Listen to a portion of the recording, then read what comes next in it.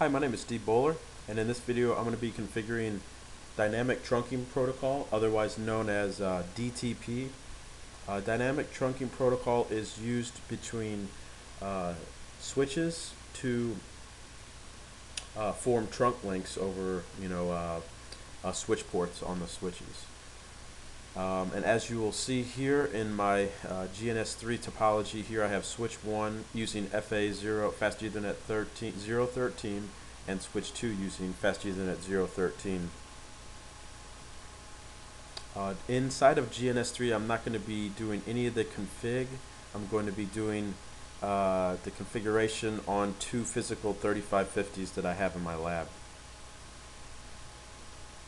Um, GNS3 will be used in this lab solely for demonstration for uh, for topology use only.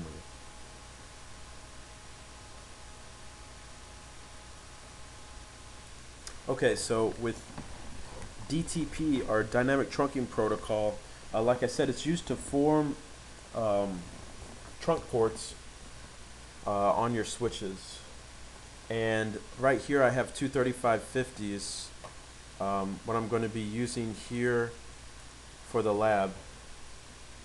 The default mode for 3550s using dynamic, dynamic trunking protocol is the mode switch port mode dynamic desirable.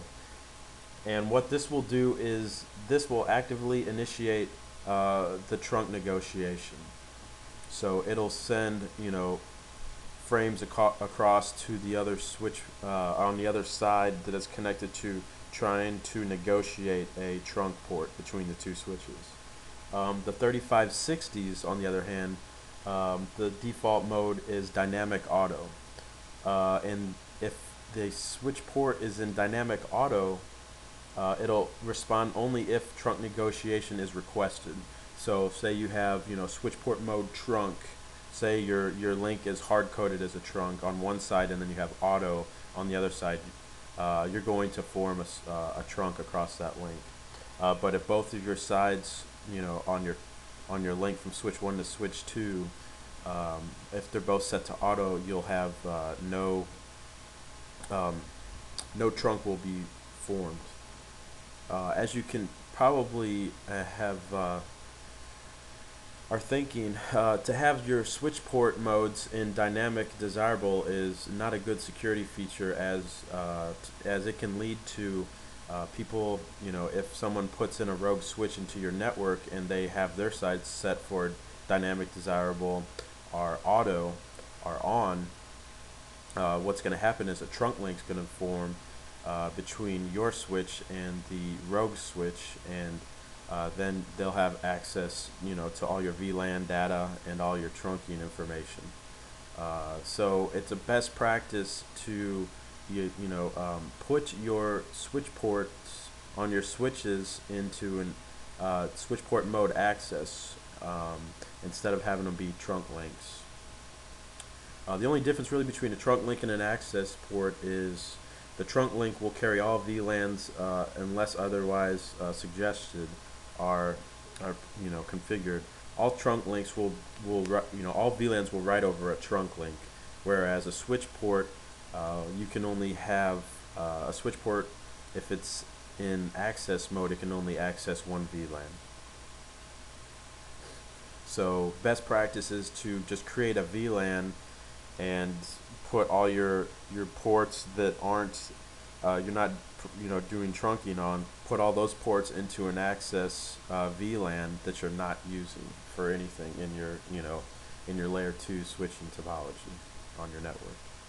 So what we're going to do here is we're just going to see the modes. I'm just going to run through a couple of modes here uh, with dynamic trunking protocol so you can uh, you know you know get a grasp on on what it's used for so here on switch 1 I'm just going to do a show run interface FA013 and as you can see here the port shut down. It's in dynamic desirable which is the default mode on the 3550s um, I've reset these switches recently so they have no config on them.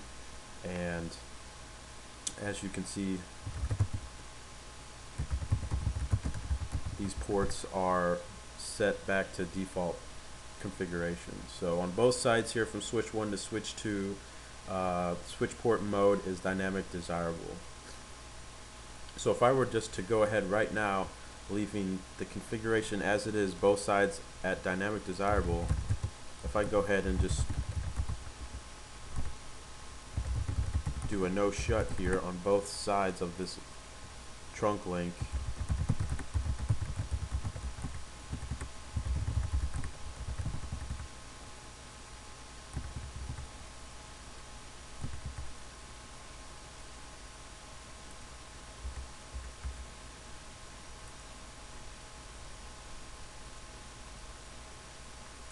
I'm going to scroll this out here so you guys can see a little more of what's going on here. Maybe not that much.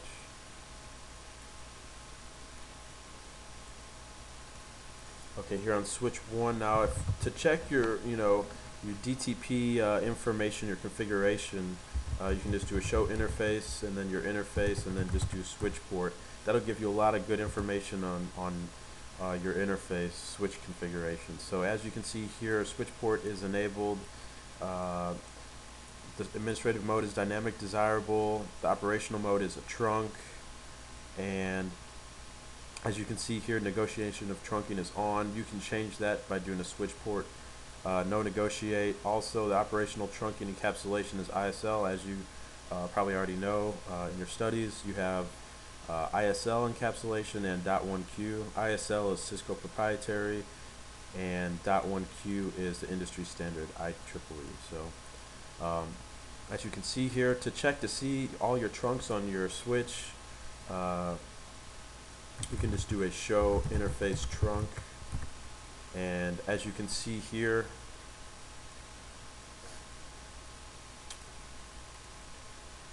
port FA013 mode is desirable. Encapsulation is already uh, set here for ISL. Status is trunking. And it shows the VLANs allowed on the trunk.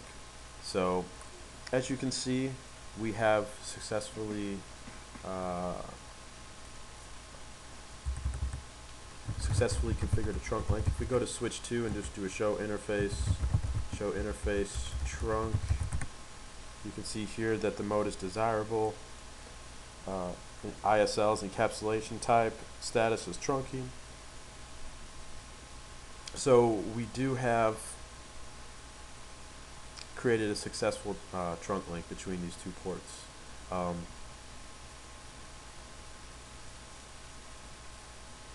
now what we want to do here is I want to show you uh, if we go back into here and do a shut down the ports and I'm going to put both sides here into auto.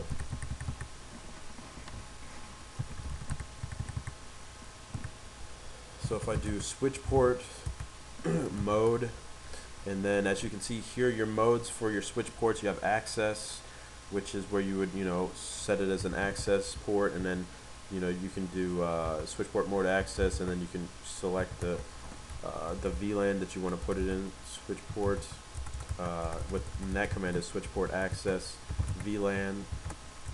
So you have under switch port mode you have access port. You can create a trunking link which is what we're doing. So if you sweat switch port mode trunk you're going to be trunking unconditionally uh, that's just manually configuring it as to where you know the port is